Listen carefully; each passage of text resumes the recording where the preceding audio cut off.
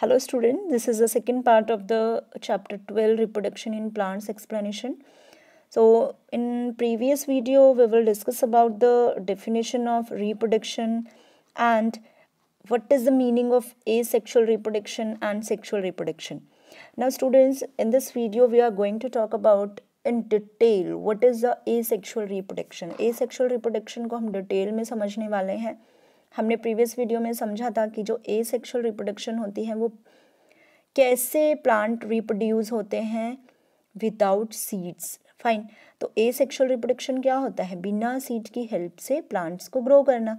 अब सीड का यूज़ नहीं होगा तो ऑब्वियसली किस किस का यूज़ हो सकता है स्टूडेंट्स रूट्स का यूज़ हो सकता है स्टेम का यूज़ हो सकता है लीव्स का यूज़ हो सकता है बर्ड्स का यूज़ हो सकता है। फाइन सो so, अगर हम बात करते हैं रूट की स्टेम की लीफ की तो ये कौन से पार्ट थे?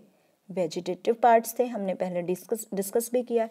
तो वेजिटेटिव पार्ट्स का यूज़ हो रहा है इसमें रिप्रोडक्शन में। और ये किस टाइप का रिप्रोडक्शन है? ए सेक्शुअल रिप्रोडक्शन है बिकॉज़ वेजिटेटिव पार्ट्स यूज़ हो रहे हैं इसके अंदर सीड्स का यूज़ ही नहीं हो रहा है। तो ऐसे रिप्रोडक्शन को या फिर हम बात करेंगे कि अगर vegetative parts of the plants use हो रहे हैं रिप्रोडक्शन में तो इसको हम वेजिटेटिव प्रोपेगेशन भी कहा, कहते हैं। तो एक क्वेश्चन पूछ लिया जाता है कि वेजिटेटिव प्रोपेगेशन क्यों कहा जाता है? क्योंकि क्योंकि वेजिटेटिव पार्ट्स का यूज़ होता है। फाइन चलो, अब देखते हैं कि कैसे रूट से स्टेम से लीव से और बर्ड से हम नए प्लांट को ग्रो कर सकते हैं। फाइन तो यहाँ पे एक्टिविटी 12.1 दी गई है, जिसको हम देखते हैं कि क्या है इस एक्टिविटी में। Cut a branch of rose और चंपा। एक जो कमल सॉरी गुलाब का फूल होता है या चंपा का फूल होता है, उसकी एक ब्रांच को कट कर लो नोड के साथ, जिसमें नोड हो। या नोड क्या होता है कि ऐसे नोड सी बनी होती है गांठ टाइप सी होती हैं। फाइन वहाँ से फूटता है, फिर दूसरा फ्लावर बनता है।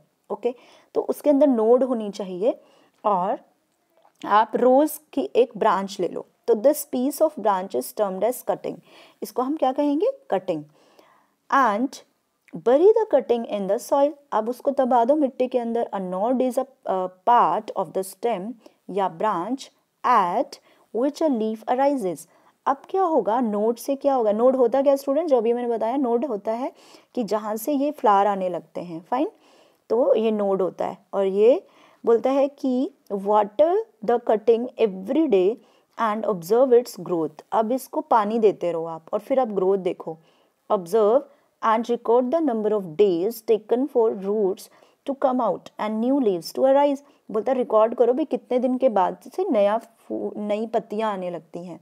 Try the same activity by growing money plant similarly money plant को भी आप एक जार में पानी डालो और उसके अंदर देखो कि कितने दिन में मनी प्लांट की नई पत्तियाँ आती हैं। Record your observation you must have seen flower buds developing into flowers apart from flower buds there are sorry yes next topic यही है।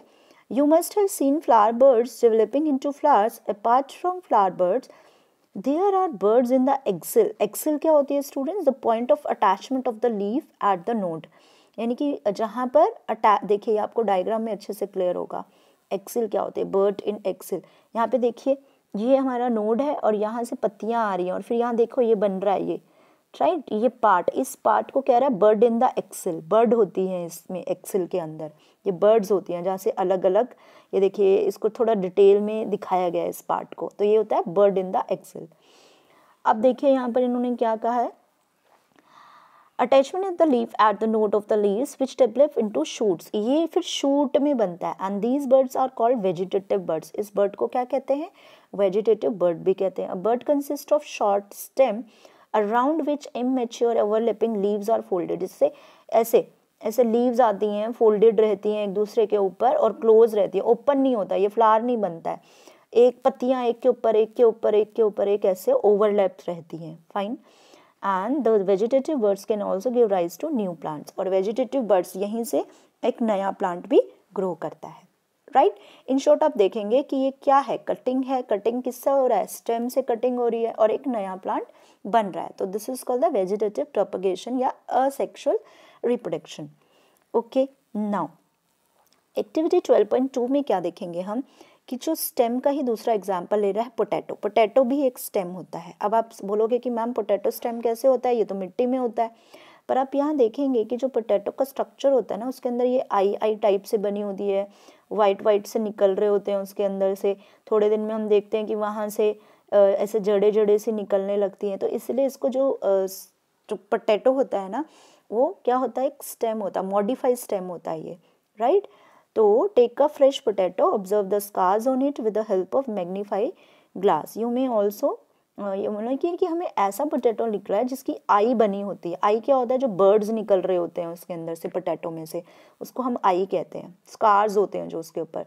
Cut up few pieces of a potato and each with an eye दो जो भी हम potato cut करेंगे उसमें आई होगी right देखियो, इस तरह से बनी होती है। इनको आई बोलते हैं। ये जो बनी होती है ना, ये आई होती है। फाइन तो हम इसको कट कर लेंगे और मिट्टी के अंदर दबा देंगे और वो, हम उसको क्या करेंगे? फिर पानी देंगे उन पीसेस को regularly after few days observe their progress what you find similarly हम जिंजर के साथ भी कर सकते हैं। फाइन तो जिंजर एंड पोटैटो क्या होता है? स्टेम होता है। मॉडिफाइड स्टेम बोलते हैं इसको। Okay likewise you can also grow ginger और टर्मरिक इसी तरह से हम जिंजर और टर्मरिक का भी नया प्लांट उगा सकते हैं। Now come to the leaf plant जैसे लीफ uh, प्लांट में पत्थर चट्टा होता है जिसको हम पत्थर चट्टा बोलते हैं। किसको बोलते हैं पत्थर चट्टा हम? ब्रायोफाइलम को बोलते हैं। फाइन यहाँ पर पूछ लेते हैं लीफ का कौन सा एग्ज़ाम्पल ऐसा है जो हम ए सेक्शुअल रिप्रोडक्शन में लीफ का कौन सा आ, कौन सा ऐसा प्लांट है जो लीफ के थ्रू क्या होती है उसकी रिप्रोडक्शन होती है। तो होता है ब्रायोफाइलम जिसको हिंदी में पत्थर चट्टा बोलते हैं। अब इसके अंदर क्या होता है स्टूडेंट्स इस तरह का पत्ता होता है ये। फाइन उसका लीफ का ब्रायोफाइलम का लीफ और bryophyllum with buds in the margin इसके साइड में ऐसे बर्ड्स बनी होती हैं, जिसमें से ऐसे पत्ते पत्ते से निकलने लगते हैं। और थोड़े दिन के बाद जो ये पत्ता होता है ना, ये गिर जाता है, ये डेड हो जाता है और मिट्टी में दब जाता है। तो जैसे मिट्टी में दबेगा तो नया प्लांट उगने लगता है। तो root of the some plants can also give rise to new plants जैसे स्वीट स्वीट पोटैटो ये तो लीफ का एग्ज़ाम्पल है। अब मैं स्वीट पोटैटो की बात कर रही हूँ। तो स्वीट पोटैटो किसका एग्ज़ाम्पल हो जाएगा? रूट्स का। हमने देखो लीफ की बात कर ली हमने स्टेम की बात कर ली अब हम बात करेंगे स्वीट पोटैटो जो डहलिया है ये किसके हैं? रूट्स के एग्ज़ाम्पल है रूट से कैसे मिलते हैं। तो स्वीट पोटैटो जो हो गया डहलिया हो गया सो so, ये है एग्ज़ाम्पल किसके? रूट्स के जो रूट से भी हमें कुछ प्लांट्स मिल सकते हैं।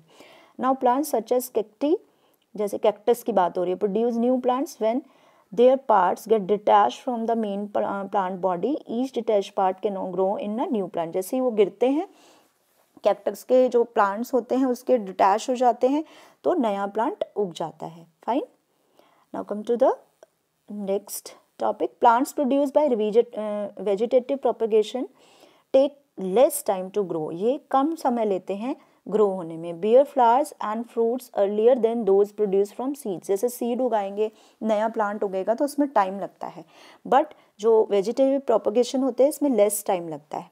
Fine the new plants are exact copies of the parent plant as they are produce from a single parent अब यहाँ पर क्या होता है कि इससे बोलता है कि जो नया प्लांट होता है ना एग्जैक्ट कॉपी होता है, जो सीड से मिलता है हमें, वो बिल्कुल कॉपी मिलता है हमें। कि जो हम सीड लगाएँगे वही वाला प्लांट हो जाएगा है ना? एंड आगे इसमें क्या आ जाता है कि अगर हम ए सेक्शुअल रिप्रोडक्शन की बात करते हैं तो उसमें हम आ, क्या कर सकते हैं उनकी डिज़ायरेबल करेक्टरिस्टिक्स भी ऑब्ज़र्व कर सकते हैं। मान लो किसी प्लांट को हम उगा रहे हैं उसके ऊपर दूसरा प्लांट लगा देते हैं जैसे ग्राफ्टिंग भी कहा जाता है तो हमें दो अलग अलग प्लांट्स दोनों प्लांट्स की अलग अलग कैरेक्टरिस्टिक्स होती हैं। जैसे एक प्लांट है, उसके ऊपर दूसरा प्लांट लगा दिया और यहाँ से हम उसको बाँध देते हैं। ये रूट्स होते हैं इस प्लांट्स के अंदर। फाइन तो एक जो नया प्लांट हमें मिलेगा ना, वो नया प्लांट एक, जो हम डिजायरेबल करेक्टरिस्टिक चाहते हैं, उसका मिल सकता है कि अगर दोनों की अलग अलग करेक्टरिस्टिक्स है, वो इस प्लांट में आ जाएँगी। फाइन तो उसको ग्राफ्टिंग भी बोला जाता है, जो हम हायर क्लासेस में पढ़ने वाले हैं। ओके अब देखेंगे later in this chapter you will learn the plants produce by sexual reproduction आगे हम पढ़ेंगे सेक्सुअल रिप्रोडक्शन के बारे में।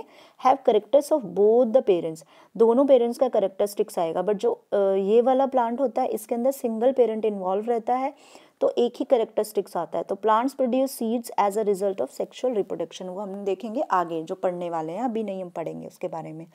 अब हम डिस्कस करेंगे बडिंग के बारे में। You have already learn about the tiny organism like yeast yeast जो होता है, एक छोटा सा ऑर्गेनिज्म होता है, जिसको माइक्रोस्कोप की हेल्प से देख सकते हैं।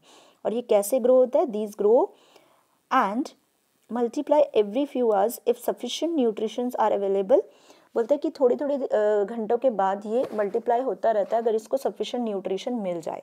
फाइन अब देखते हैं, हम इसको एक एक्टिविटी की हेल्प से समझते हैं। Take a piece of yeast cake हम एक केक ले लेते हैं। फाइन उसके ऊपर ईस्ट लगा होगा।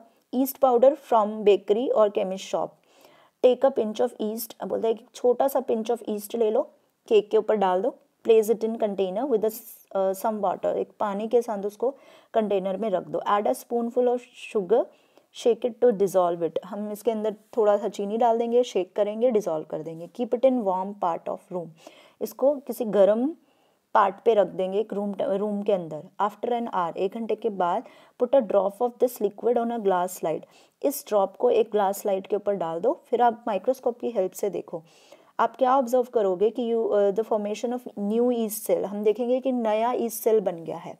Fine the small bud like projection coming out from the yeast cell is called the bud अब स्मॉल जो बल्ब लाइक प्रोजेक्शन होगी। देखो, पहले ईस्ट ये था, फिर इस तरह से बना बल्ब टाइप था, फिर ये न्यू बर्ड बन गया, फिर इस तरह से चेन बनती जाएँगी। ओके ये है reproduction in yeast by budding इसको बोलते हैं बडिंग बड किसे कहते हैं? जो ईस्ट सेल के ऊपर एक क्या बनेगा? बल्ब लाइक प्रोजेक्शन होगी, जैसे ये बल्ब लाइक प्रोजेक्शन है। ये होता है bud the bud gradually grows and get detach from the parent cell and form a new yeast cell देखिए, ये जैसे जैसे ग्रेजुअली क्या हो रहा है? ग्रो होता जा रहा है। फाइन देखिए यहाँ पर पिक्चर में ग्रो हो रहा है, फिर इस तरह से अटैच चेन टाइप बन जा रही है बर्ड्स की। तो इस तरह से ये बढ़ता जाएगा। Sometimes another bud arises from the bud forming a chain of buds it is a process of continuous large number of E cell produce in a short time बहुत सारे ई सेल यहाँ पर प्रोड्यूस हो सकते हैं थोड़े से time में। फाइन आई होप आपको टॉपिक क्लियर है। Now come to the next topic that is a fragmentation fragmentation क्या होता है students you may have, you might have seen slimy green in ponds और in other stag stagnant water bodies आपने देखा होगा पानी जहाँ इकट्ठा रहता है वहाँ काई सी जम जाती है। है ना? जैसे उसे इसको हम एल्गी कहते हैं। These are algae when water and nutrients are available algae grow and multiply rapidly by fragmentation यानी कि होता क्या एक्चुअल में? मान लो यहाँ एल्गी है। एल्गी क्या होता है? ये पूरा एक पार्ट है। ये क्या हो जाता है? ये कंटिन्यूसली ये आगे क्या होता है, इसके पीसेज में कन्वर्ट हो जाता है। मान लो ये पीसेज में कन्वर्ट हो गया, फिर ये फर्दर अनदर पीसेज में कन्वर्ट हो जाएगा। तो ये एल्गी होता है। ये इसमें एक जैसे इसका एग्ज़ाम्पल है ना, इसके अंदर क्या रहता है, एक ऑर्गेनिज्म होता है स्पायरो वगैरह जिसे बोलते हैं। फाइन तो देखिए यहाँ पर बोला है दीज फ्रेगमेंट और pieces grow into new individual ये नए इंडिविजुअल में ग्रो करता है, जैसे ये पूरा एक था पहले, दो में हो गया फिर इस तरह से फर्दर ये ग्रो करता जाएगा, इस तरह से चेन्स बनाता जाएगा। ये भी continuous and they cover large area in short period थोड़े से पीरियड में बहुत ज़्यादा कवर कर लेता है ये area this is called the fragmentation fine spore formation है नेक्स्ट टॉपिक तो स्पोर फॉर्मेशन क्या होता है स्टूडेंट्स जैसे ब्रेड पे आपने देखा होगा फंगस फंगस लग जाती है ना? तो वही है स्पोर फॉर्मेशन स्पोर से क्या हो जाता है, ये हमारा जैसे ब्रेड भी ख़राब हो जाता है फंगस लग जाएगी। तो हमने ये पहले भी पढ़ा था फंगाई के बारे में ब्रेड पीस पे ग्रो करता है। ठीक है? कैसे ग्रो करता है? स्पोर से ग्रो करता है। जो स्पोर होती है एयर में भी प्रेजेंट रहती है। फाइन तो ये वही एक्टिविटी है जो हमने पहले डिस्कस की थी। आप देखिए, ये स्पोर्स होते हैं। अगर ये हवा की सहायता से ये इधर उधर जाएँगे तो पूरी ब्रेड पे फैलेगा और जल्दी से हमारी ब्रेड क्या हो जाएगी? ख़राब हो जाएगी। तो ये स्पोर फॉर्मेशन होता है फंगस भी इसे बोला जाता है। ये थ्रेड लाइक होता है, जिसको हाइफा बोलते हैं थ्रेड लाइक को। और ये क्या होता है? स्पॉन्जियम स्पॉन्जियम होते हैं, यहाँ पर स्पोर्स छोटे छोटे आ जाते हैं, जिस तरह से स्पोर्स की फॉर्मेशन होती है। फाइन तो स्टूडेंट्स ये था हमारा जो टॉपिक ए सेक्शुअल रिप्रोडक्शन का डिटेल जैसे हमने स्टेम से लीव से रूट से कैसे कैसे कैसे रिप्रोडक्शन हुई है, बिना सीड की हेल्प से एक नया प्लांट बन रहा है। अब जो नेक्स्ट टॉपिक होगा हमारा सेक्शुअल रिप्रोडक्शन होगा जिसको हम आगे डिस्कस करेंगे।